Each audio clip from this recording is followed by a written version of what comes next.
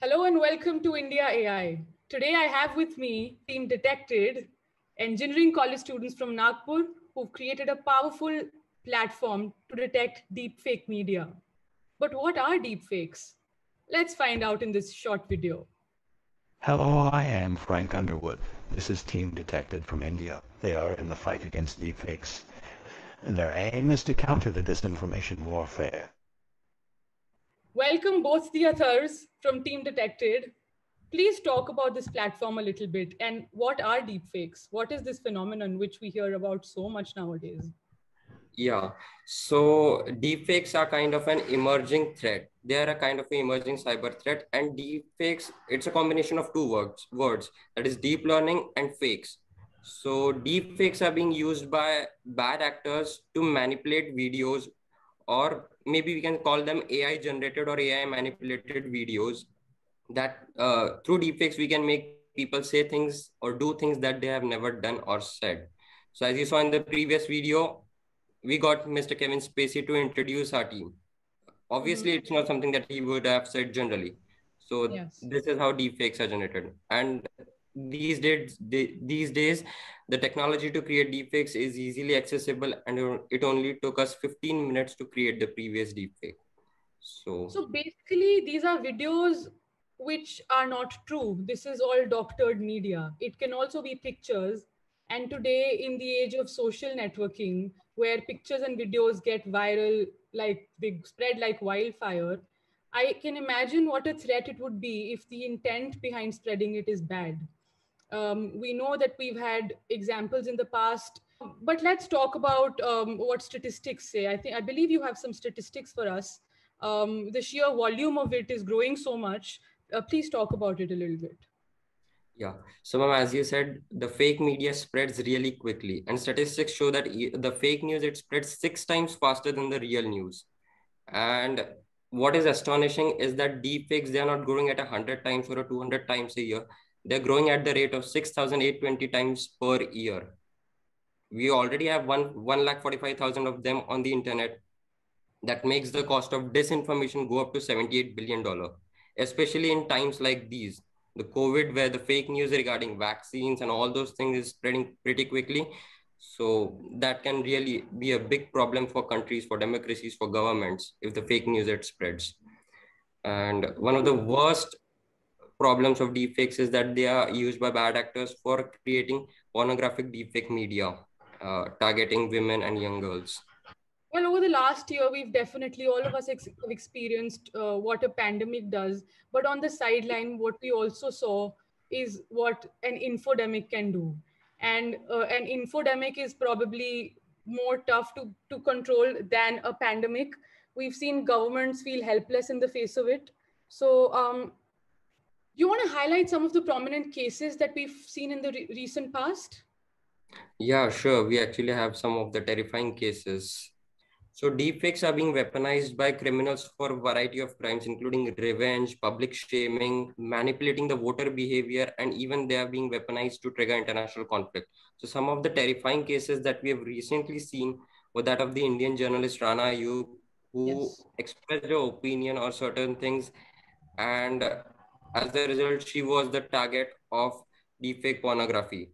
Yes. Not just this, not the just the journalist, but deepfakes video. They also led to an attempted military coup in Gabon, Africa, or even when a deepfake video of President Donald Trump was used to trigger an international conflict. So these are just some of the cases. Recently in India, during the Delhi elections, a deepfake video of a politician was made viral to you know harm his reputation during the elections. So that's obviously the beginning, but it can go ahead. And anybody who's in the public domain, all celebrities, all well-known people, is very common to see doctored videos, especially with like I think film actresses and pornography. How we know how it goes hand in hand, and deepfakes are to blame. So, do you want to talk a little bit about how it's becoming a social menace very, very quickly? Yeah, it's actually growing at a very rapid pace. Uh, here in this graph, you can see that most of the deepfakes in the world, they originate in Russia, Ukraine, and all the entire former USSR countries. However, India is not far behind. About 2% of the deepfake videos in the world, they are created, they are generated in India. Okay. And, it, and it's not just the uh, celebrities or high level people who are targeted, but the group which is targeted most often are common young girls.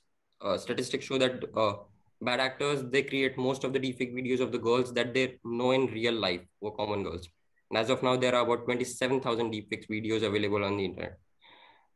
However, people might think that the technology to create deepfakes is a very sophisticated technology and might not be accessible to everyone but we have deepfake bots and all types of services available on applications like telegram that are actually you know allowing people to create deepfakes at a very low cost and very quickly so you can see the headline of an article which says that a deepfake bot is being used to undress common under underage girls. So these types of bots they are available widely on the telegram applications and many other websites.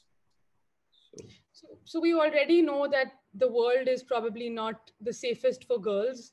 And until now it was the physical world but now, now i think it is also the digital world which owing to these deep fakes and all of these other weapons that have come into the hands and as you say is, are very accessible very cheap to make it's also making the digital space very unsafe for young girls for young kids and not just well known people but for every one of us. So the threat is real.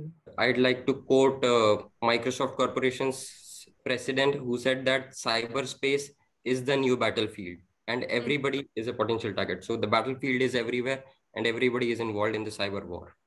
Definitely um, but we know that artificial intelligence uh, has been able to provide solutions to a lot of the contemporary challenges. And i believe that there is a there is a solution that we have and there is one that you have built yourselves. So please talk about the platform Detectd that you have built as a team. Okay, so we've built Detectd, and Detectd is artificial intelligence based sophisticated web platform that allows users, whether individuals or organizations, to simply verify the authenticity of media that they consume for their own purposes or they share with billions of other people. So earlier, deep, uh, detecting deepfakes were a, was a very challenging task for individuals because it required a expertise in artificial intelligence domain. But what we have done is that we've created this platform where the user can simply visit our website, upload a media from his local system, whether a photograph or a video. Then our the video or photo it is passed through a state of the art model. Mm-hmm. It is mm-hmm. analyzed for AI forgery and whether the video is deepfake or not, the results are returned to the user within minutes.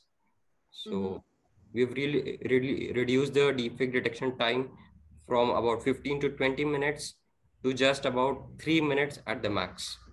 We'd like to see it in action, but before that, can you highlight for us how your platform is different from some of the others that are already available in the market?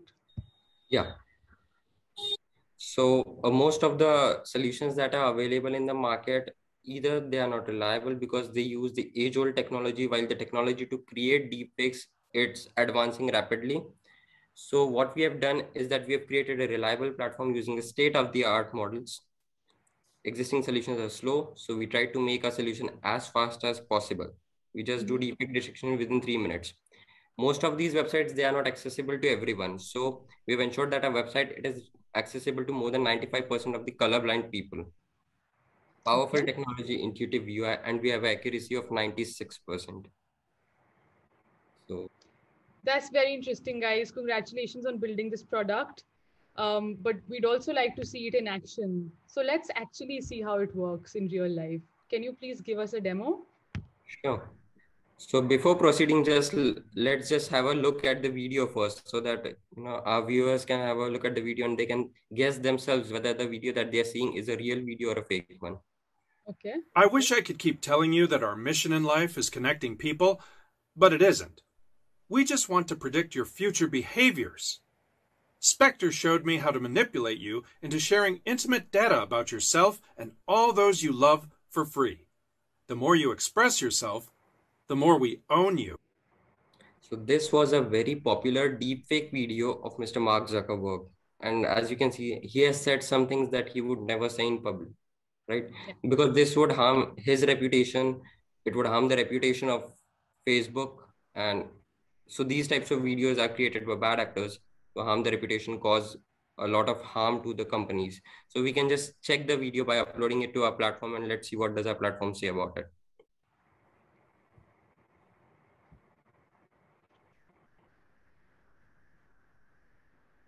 the video is being uploaded here.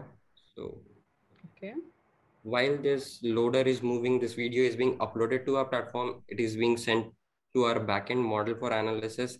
And as soon as the prediction is ready, it is returned to the user saying that the video is fake and the chances are 90.8%. Okay. So this is this is how you uh, highlight um, what the chances are of the video being fake or right. real and this is most definitely a fake video but this is obviously something that was very popular but uh, we understand that this is now a platform which is currently you're offering it for free so anyone can right. access it and um, check for themselves whether the media that they consume is credible or not right. and i do think that all of us in this day and age of social media uh, which gives us the power to spread information. But along with it also comes the responsibility to make sure that we're being responsible citizens of a digital network and not spreading fake news, fake media, etc. So I congratulate the two of you, along with your two other teammates, Rishita Mishra and Yash Moharir, for uh, for creating this platform. It's very reassuring to see that college students are thinking that far and that should be a lesson for everyone and i hope that after watching this a lot of other people will be inspired to be more responsible and um, and and use artificial intelligence for social good like you guys thought of doing. So congratulations and it was lovely speaking to you